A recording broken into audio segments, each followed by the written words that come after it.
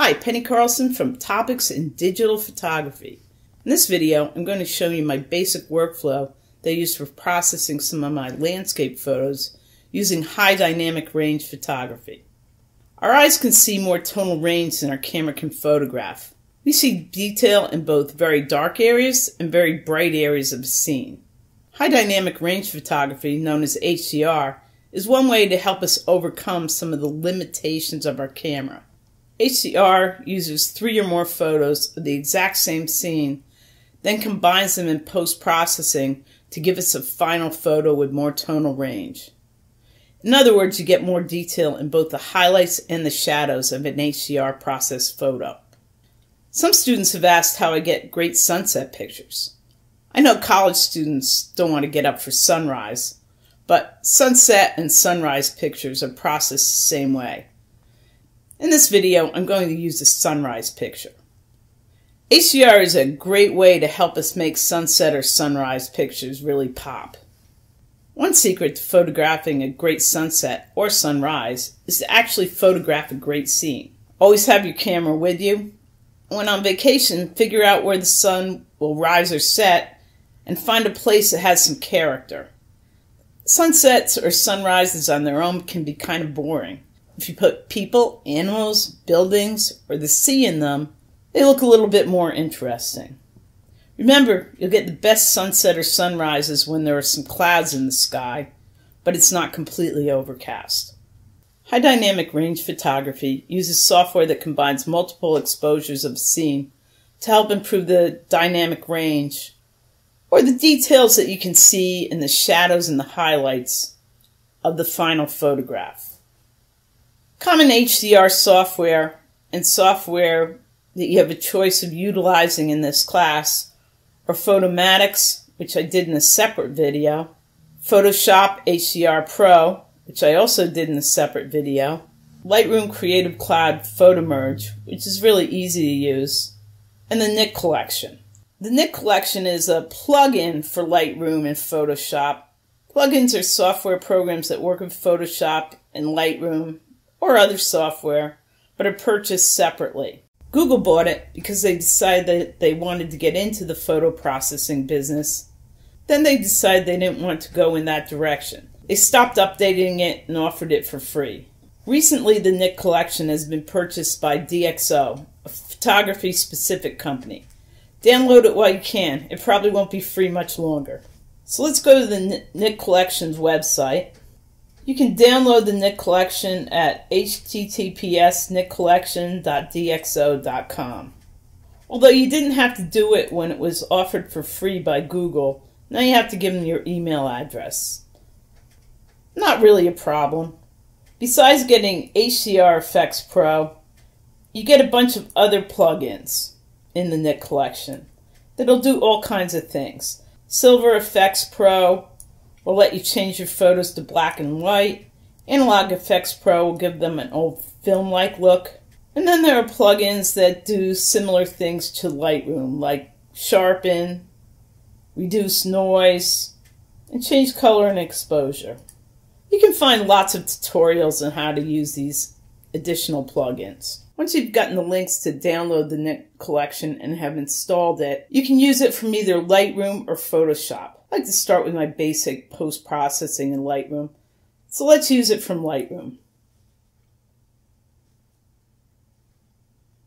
I have a bunch of photos that I take in of a sunrise on my way to work one morning. I was able to capture this great sunrise because I always carry a camera in my pocketbook. And I'm going to provide the photos for you on Canvas so you can download them and follow me in this video. Okay, so let's choose the three photos that I'm going to also make available to you.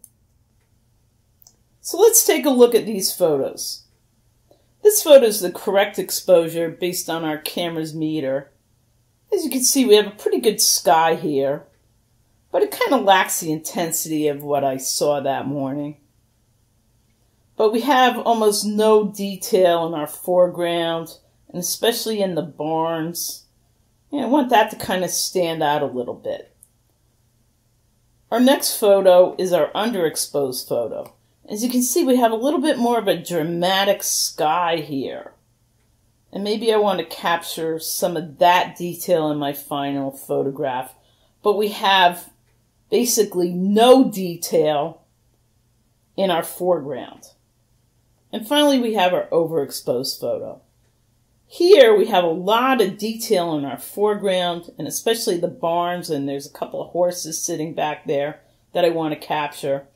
But we've really lost that beautiful coloring in the sunrise. What HDR is going to do is give us the best of all three photographs and combine them into one photograph that gives us more detail in both our highlights and our shadows. You can go into the develop mode, and some people actually like to develop their photos a little bit in Lightroom before they bring them into their HDR processing program. One thing I definitely like to do if I shoot in RAW, and you won't have the opportunity to do this, is make sure that I've enabled my lens profile correction. And then let's look at our correctly exposed photograph. And our lens correction has been enabled. Again, this will only be available if you shot in RAW. If you shot in JPEG and you have a camera that does lens profile correction, it will have automatically done this for you. Okay, now we go back to our library. And if everything went right with the installation, we go up to File, Export with Preset, because that keeps the edits that we made in Lightroom. And we want to bring it into HDR Efex Pro 2.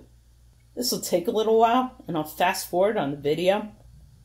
And once the images are all loaded, we'll get to an intermediary screen. Here you make some decisions as to how you want to process the photo. If you handheld your photos, make sure you click alignment.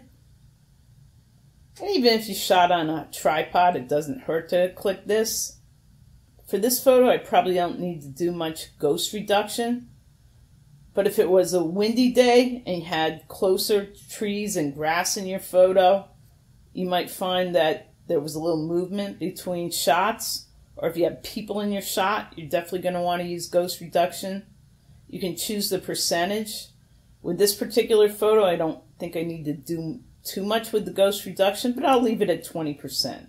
And then it never hurts to check off this remove chromatic aberration. Chromatic aberrations are just purple fringing that you might get around high contrast areas. And then we click on Create HDR. And wait for our HDR image to emerge. I'll speed this up. It'll take a lot longer than it does in the video. Let's brought up an HDR image created based on Nik's HDR Efex default image.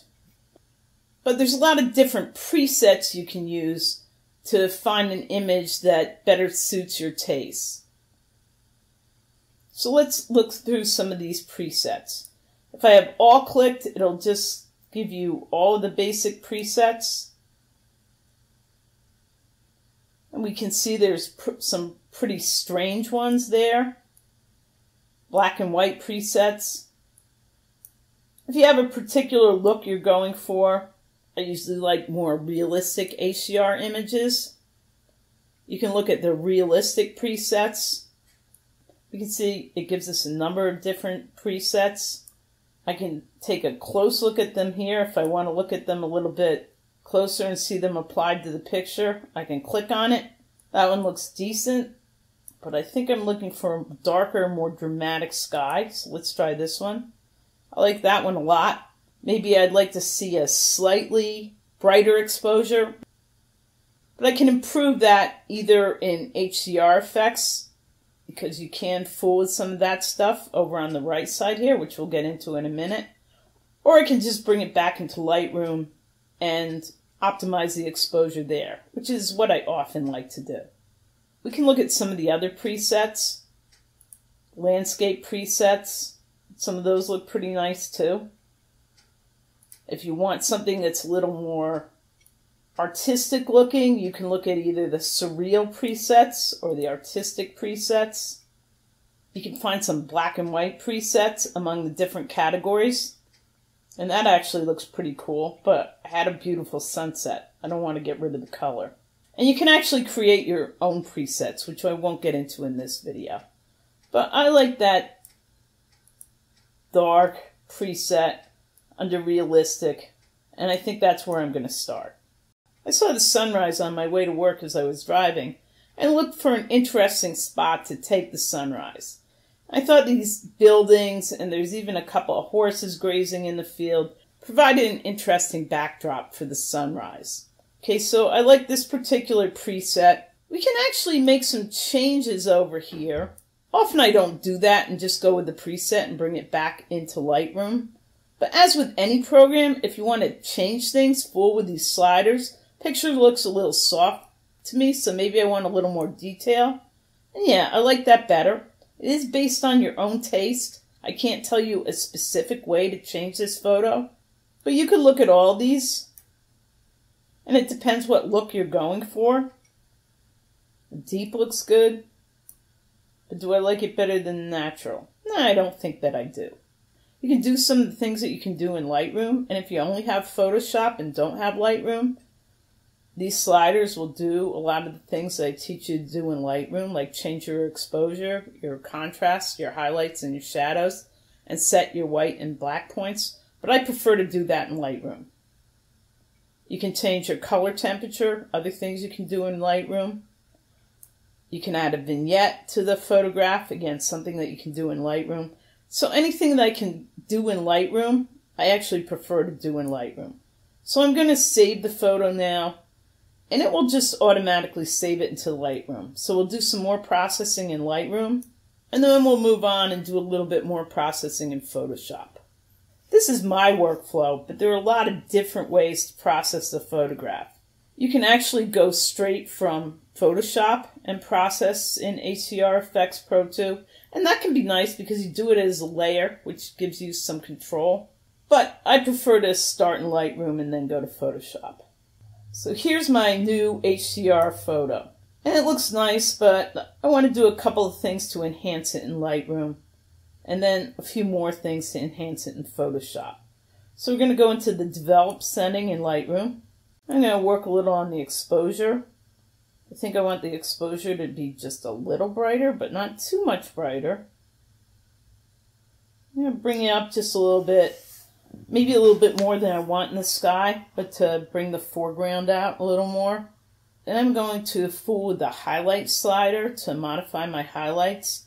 A lot of times with my highlights, I like to bring them all the way down, 100%, and I like to bring my shadows up 100%. You can see we add a little more depth to our photo. In fact, we can do that with non-HDR photos too.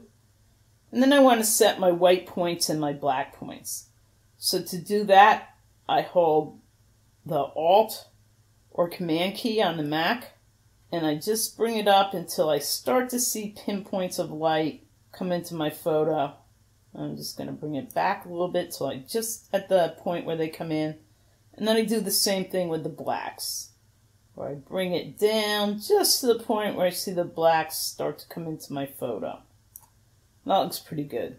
And as you can see, I've got a lot more color and a lot more dynamic range in the photos. Where with the original photograph, I couldn't see the foreground at all. I've got a bright foreground and I've got a nice dramatic sky. But I think I want to make my exposure just a little bit darker on the sky to bring out that color. Okay, so I'm going to use the graduated filter on that. Here's the graduated filter. We click on it and it brings us to our menu.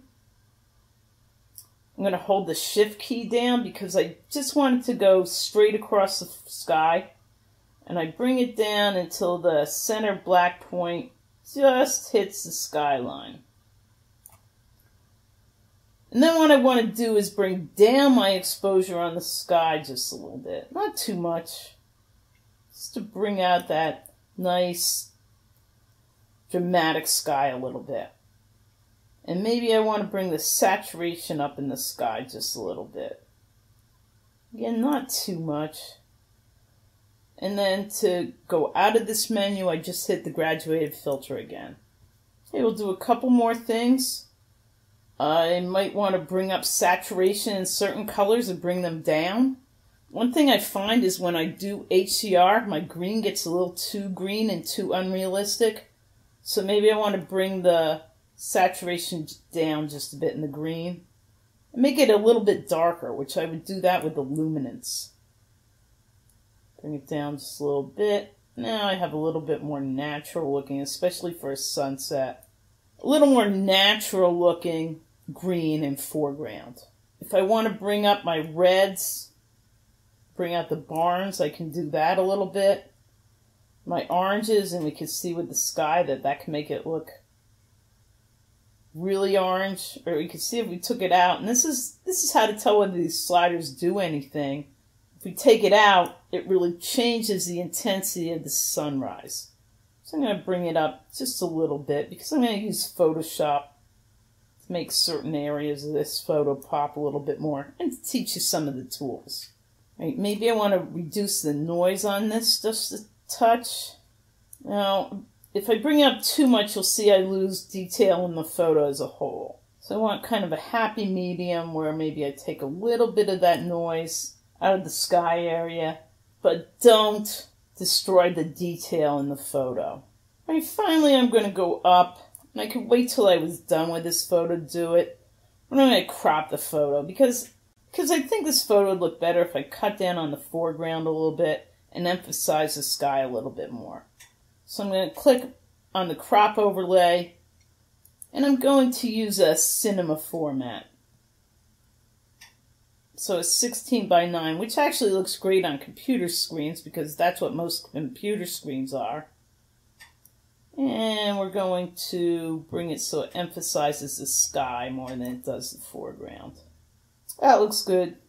So I'm going to click the crop overlay again and I'm done.